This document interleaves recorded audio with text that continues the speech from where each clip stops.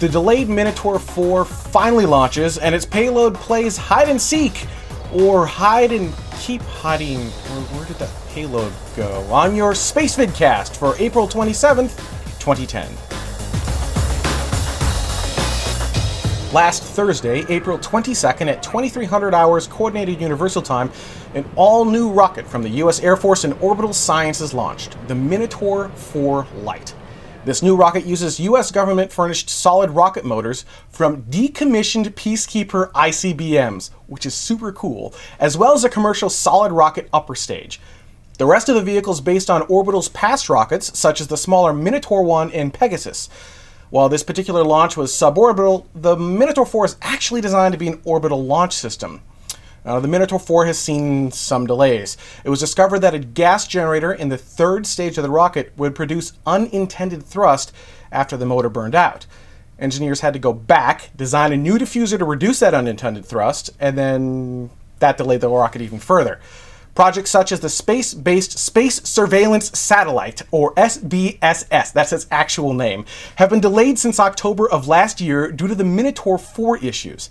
This setback has caused a cascading delay for military satellite deployments. Some satellites have been moved to other launch vehicles, such as the Delta II, while others have had to wait for the Minotaur 4 configuration to be fixed. And now that the Air Force and Orbital have been able to successfully launch the Minotaur 4, it's expected they'll be able to catch up on that backlog. Now, while the launch itself was a success, the payload, mm, not so much. Aboard the Minotaur 4 Light was DARPA's hypersonic test vehicle, the payload was known as the Falcon HTV-2A glide vehicle and is designed to re-enter the atmosphere and fly across the Pacific Ocean at speeds of around 13,000 miles per hour or 20,000 kilometers per hour. The HTV was supposed to test technologies that could eventually be employed by a system capable of prompt global response missions, which sounds foreboding. Well, that was the plan, at least.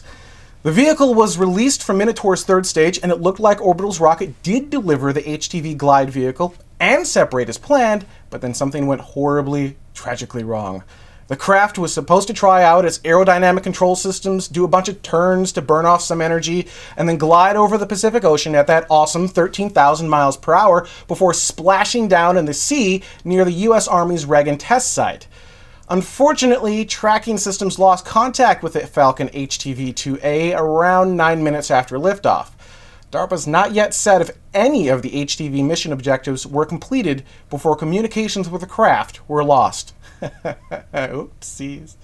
And finally, 51 years ago today, the Mercury 7 astronauts first reported for duty.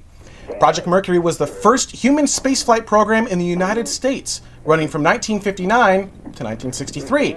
The goal of Project Mercury was to put a human in orbit around the Earth. Now, the first human flight on Mercury was with Alan Shepard on May 5th, 1961, which was a suborbital flight.